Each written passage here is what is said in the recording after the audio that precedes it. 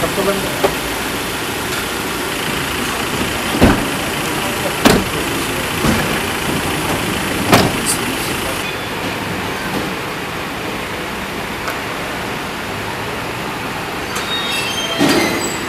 Đây.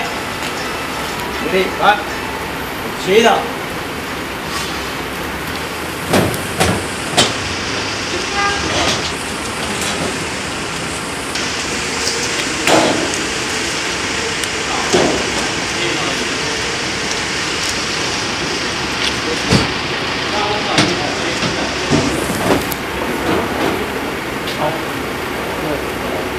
Kalk.